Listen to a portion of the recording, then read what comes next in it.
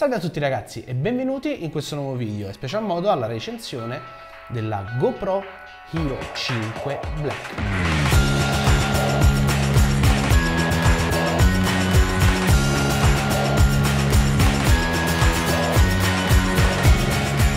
Presentata a fine settembre, uscita nei primi giorni di ottobre, questa è la nuova generazione di Action Cam Naturalmente questa rispetto a tutto quello che si trova sul mercato e anche rispetto ai modelli precedenti della stessa GoPro è a mio parere ritenibile la, il miglior prodotto mai presentato da questa azienda e che è davvero l'action cam perfetta. Prima di passare a tutti gli aspetti tecnici della macchina vorrei dare un paio delle mie opinioni. Questa è la prima GoPro Hero ehm, impermeabile senza lo scafandro.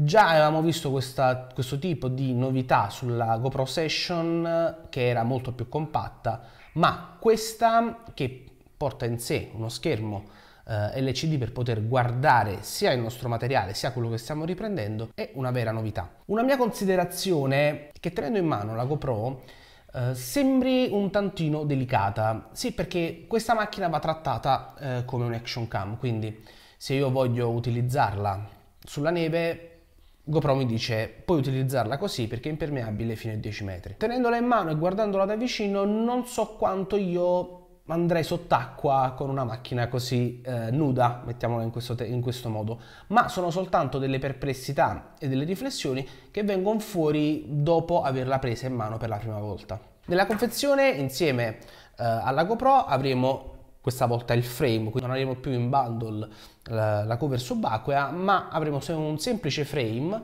con il classico attacco delle GoPro per poterla adattare a tutti gli accessori originali o compatibili che siano.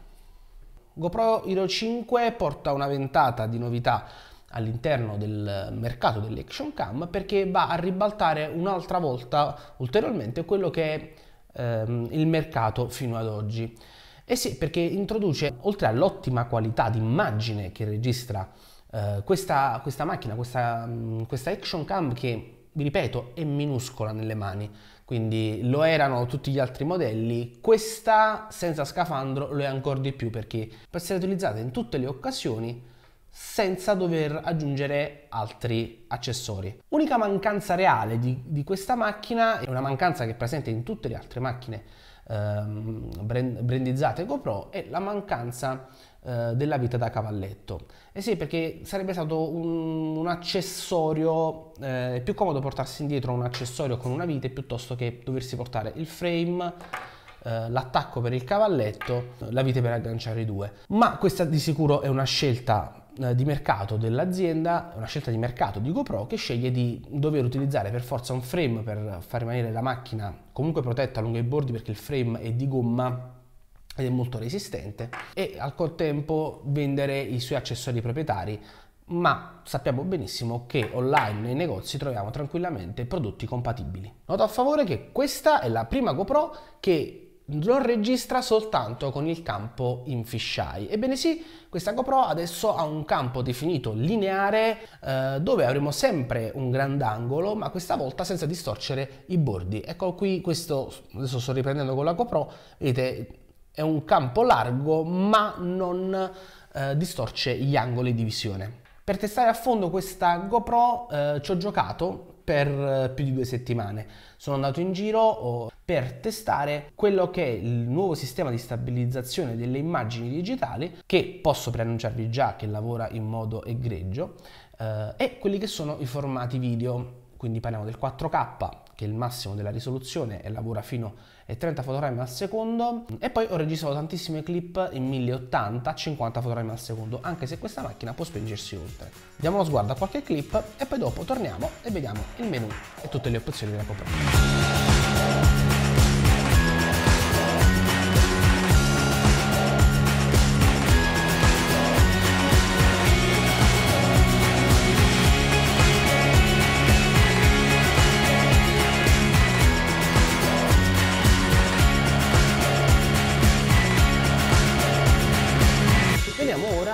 Sono le proprietà eh, di questa fantastica macchina. Abbiamo un display sul frontale che ci mostrerà le icone e il time della registrazione. Abbiamo sul lato uno sportellino, all'interno porta lo spinotto USB di tipo C per eh, la ricarica e la connessione al computer e un HDMI mini per poter vedere il materiale sui nostri televisori. Come si nota ehm, subito dietro lo sportellino abbiamo un rivestimento in gomma che serve a proteggere perché va sotto pressione, serve a proteggere le connessioni per non far entrare l'acqua. Infatti, come eh, precedentemente detto, questa GoPro senza il case esterno può arrivare fino a 10 metri sott'acqua. La qualità costruttiva della macchina è indubbia, ma ci sono delle, mm, ci sono delle piccolezze che mi fanno ragionare.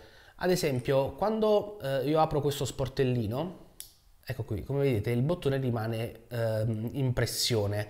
Questo perché la plastica qui dietro qui va a bloccarsi. Può essere anche un problema del modello che ho eh, io in mano, eh, ma ci sono dei piccoli dettagli che forse andavano rivisti leggermente. Stessa cosa per il vano inferiore, si apre con una pressione ed abbiamo la batteria e la micro SD.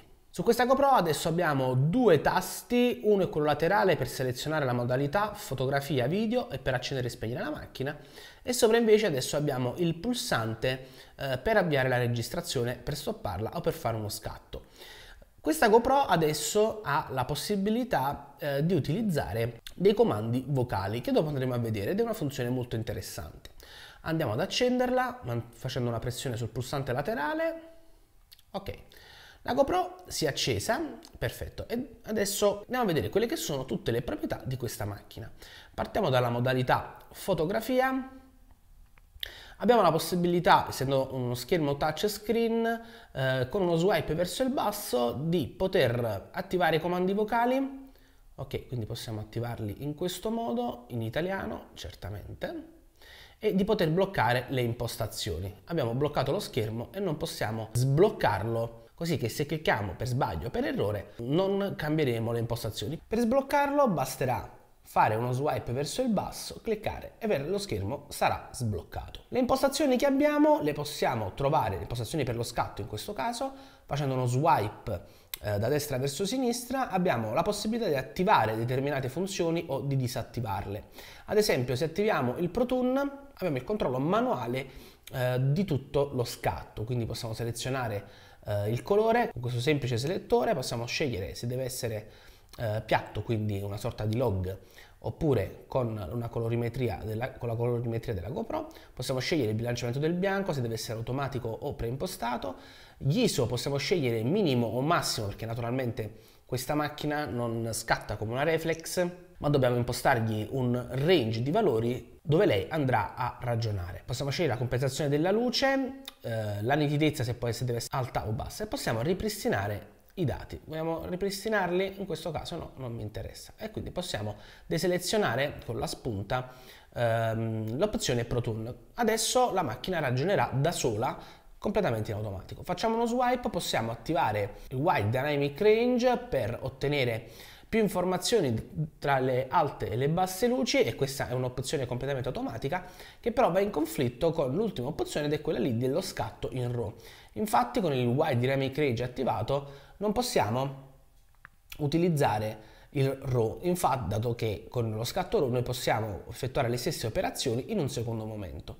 Quindi come visto dal messaggio d'errore il Wide Dynamic Range è stato disattivato. Fatto ciò, per uscire dalle impostazioni dobbiamo fare uno swipe verso il basso. Allora, abbiamo diverse possibilità, possiamo scegliere se scattare una foto normale, una, no una notturna oppure una sequenza.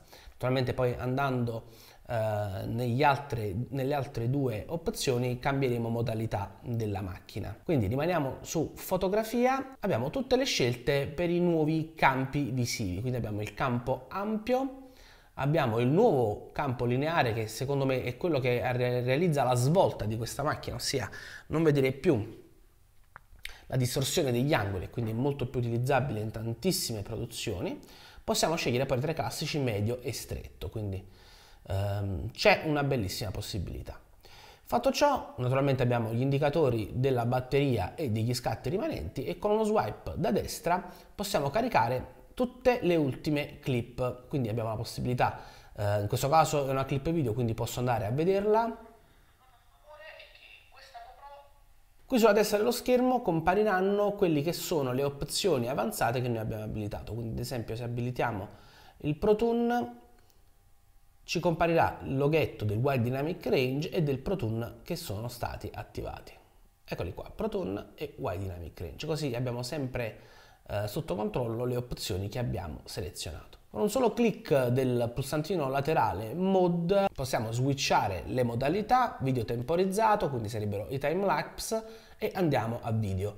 Quindi questo tasto serve per passare tra le, tra le quattro funzioni della camera principali, ossia gli scatti in velocità in sequenza, dove se clicchiamo lui scatterà in sequenza una serie di fotografie per, per catturare attimi particolari e se andiamo in video temporizzato il time lapse possiamo impostare l'intervallo eh, di scatto ogni 0,5 secondi fino a ogni 60 secondi. Possiamo scegliere la risoluzione eh, d'uscita del video, quindi 4K, 2K 2,7K in 4 terzi o 1080. Ade andiamo adesso nella modalità video, molto interessante, abbiamo la stessa funzione nei menu, quindi uno swipe da destra verso sinistra per andare nelle varie impostazioni, possiamo, abbiamo la possibilità di ehm, creare una traccia audio in RAW in una qualità alta, eh, possiamo scegliere determinate impostazioni molto simili a quelle del reparto fotografia, qua abbiamo la possibilità di selezionare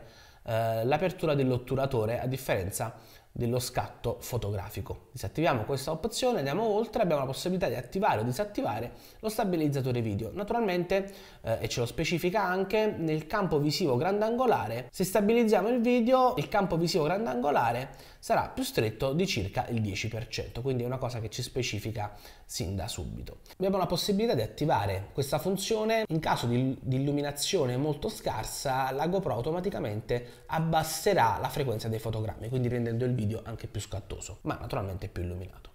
Questa era l'ultima opzione disponibile nel menu video. Naturalmente qui sotto qui abbiamo il campo per selezionare il campo visivo, quindi io in questo caso ho il campo lineare. Possiamo selezionare i fotogrammi eh, massimi a cui possiamo registrare, in questo caso in HD possiamo arrivare fino a 240 fotogrammi al secondo, io per comodità tengo selezionati i miei 50 perché è così che registro e possiamo selezionare quella che, quella che è la risoluzione, quindi abbiamo il 4K, 2,7K, il 2,7K in 4 terzi, 1440, eh, un 1080, 960, 720 e 480. Ecco, queste sono tutte le risoluzioni disponibili su questa macchina. Adesso andiamo a provare una delle funzioni più eh, simpatiche, ossia quella della, eh, dei comandi vocali. GoPro avvia video. Con un semplice controllo vocale, quindi con una frase stabilita, noi possiamo avviare la registrazione del video. E dato che stiamo registrando un video, voglio portarvi all'attenzione quelli che sono i dati presenti sul monitor frontale. Abbiamo la disponibilità sulla nostra scheda, la durata della nostra batteria, la durata della registrazione e il formato di registrazione in questo caso e la modalità che è video.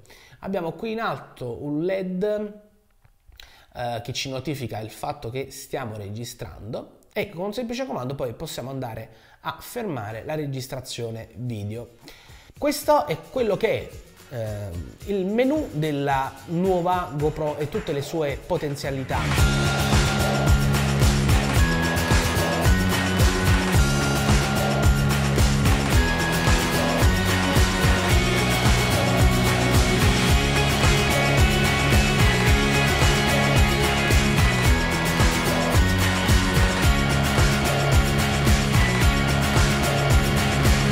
Insomma, questa GoPro Hero 5 Black ci piace, è tantissimo.